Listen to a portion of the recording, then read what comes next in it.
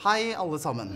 Tusen takk for at du følger med på Norges råeste markedsbyrå. Og til og med noen av dere har kanskje fulgt med helt siden starten i 2017. De siste par årene nå så er høylytt sagt at cold calling er døende. At du er nødt til å begynne å produsere innhold. Hvorfor du må si nei til business. Du må tenke langsiktig og måle på emosjonelle kopier istedenfor rasjonelle.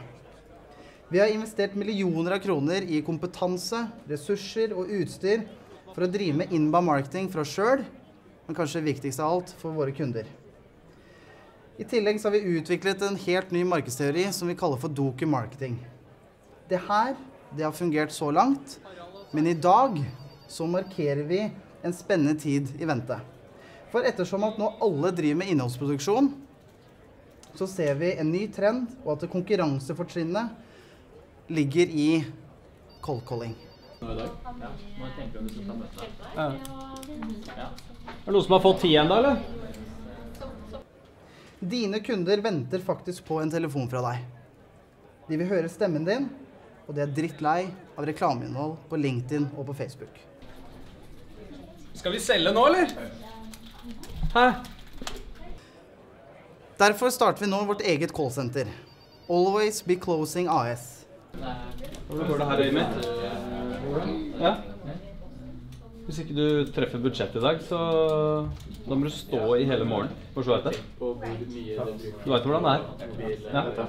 Så bare fortsett å ringe. Her sitter det 15 ekstremt dyktige møtebookere på telefon, og som også kan selge dine online nettkurspakker eller andre ting som er helt umulig på nett.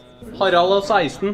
Vi har eh, videoer, vi har artikler, og vi med ABC. For alle våre kunder så selger vi nå deres digitale tjenester over telefon. Så har vi har manus, altså. Så hvis du sliter med manuset, så kan, du, så kan jeg fikse det til deg. Det er ikke noe stress, det. Nei. Har du sett på manus, eller? Nei, ja, altså litt grann. Ja. ja, for det er viktig at du leser det helt korrekt, og så får du bekreftelse på at vi tar opp det, ikke sant? Ja. Ja. Trenger du hjelp til cold calling, så lik dette innlegget mange ganger. Kommenter hvor mange iskalde selgere du trenger, så ringer vi deg.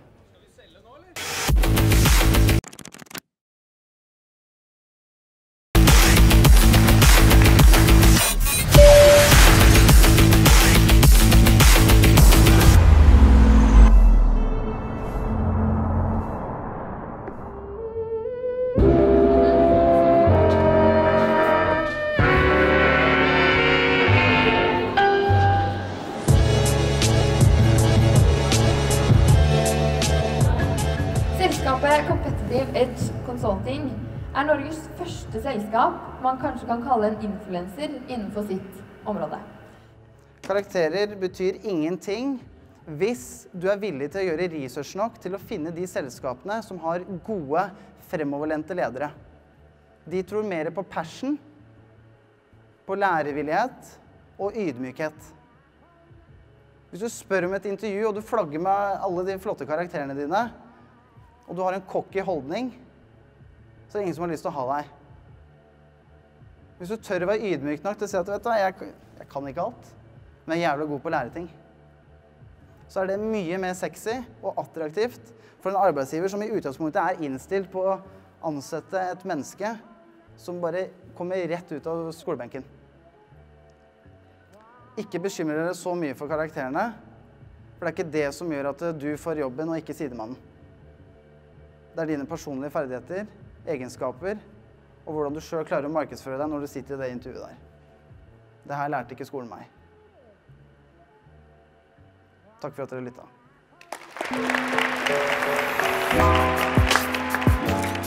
Mange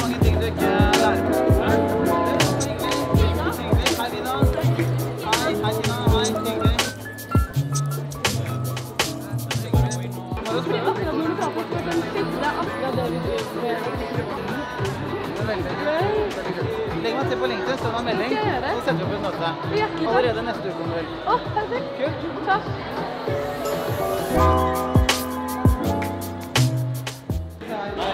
Ok, ja, da står det. Da står det. Ja. Nei, det trenger ikke å stå så lenge, altså, men det var dritkult. Så hyggelig. Takk for det. Ja,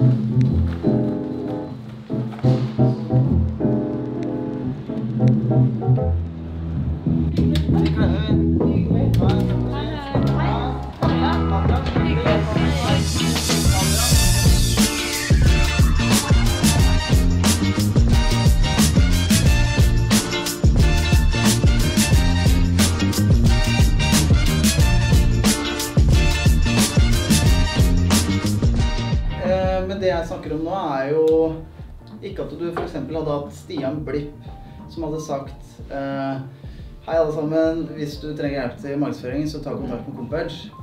Fordi det ble en B2C. Mm. Men det jeg snakker om nå, det er eh, B2B, hvor vi som et selskap med det vi produserer, kan hjelpe et annet selskap. Ja. Fordi at vi har et publikum Mm. som Sparebanken Vest og Buffer ikke har. da. Mm.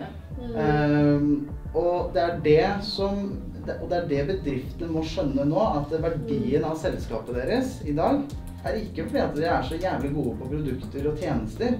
Fordi alle kan lage gode tjenester. Mm. Men det veldig få klarer, det er å skape en plattform, eh, en type innholdshus, Mm. hvor folk har lyst til å være en del av det selskapet produserer. Mm. Så jo, vi leverer videoproduksjoner, men du kan søke opp 10 000 byråer i Norge som også kan gjøre det. Så det er ikke noe unikt. Men det som er unikt, det er hvordan snakken vår er.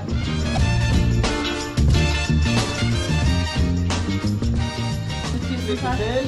Lykke til. Og så Sita, hvis jeg kan bidra med noe mer. Ja, det skal jeg gjøre. Tusen takk. Ha det. Ha det.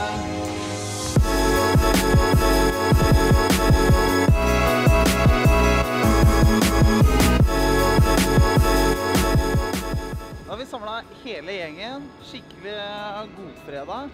Og prøve å gi noe tilbake. Så nå skal vi på Jeg tror det er eh, yrkesmesterskap i, eh, i ungdomsbedrift.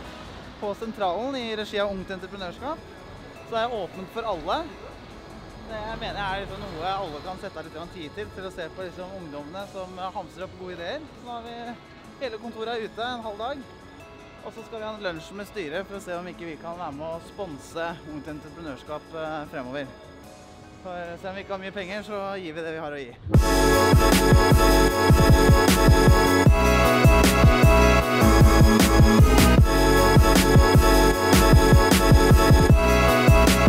Som er daglig leder av eh, CompEdge, som er Norges råeste markedsbyrå.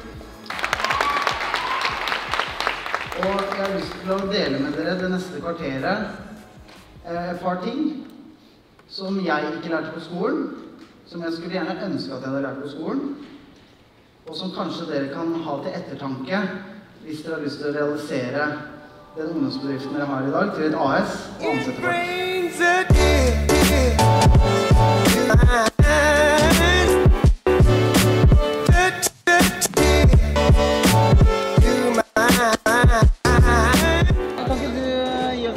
På 30? Hæ? Kan ikke du gi oss et tilbud på 30? Tilbud at det bare lyser opp? Ok, på det, vel? Ok, Jakob? um, ja, for vi driver jo fortsatt og produserer elektronikk og sånt, og planen er at det skal være salgsstart i april. Så eh, ja, det skal vi prøve å ja. ja, eller vi har allerede fått en forhåndsbestilling på tre. Så akkurat nå så er det 17 ledige paneler. Da tar vi neste 17. da. Ja vel. Eh, Ja. Ja, ja. Du, dette er Ja, tusen takk. Ja, ja.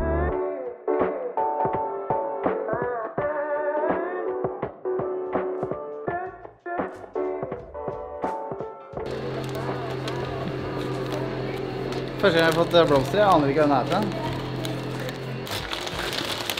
Jeg har aldri fått blomster. Jeg har ikke fått mye blomster da. Oi, de var fine òg. Er kjempefine. Oransje. Skal vi se, hva står det på kortet her, da?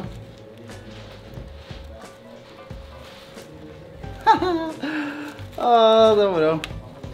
Mulig vi bitcher på pris, men vi kommer aldri til å bitche på god kvalitet. Den siste kundehistorien var helt fantastisk. Nå snakker vi. Hilsen personalhusgjengen.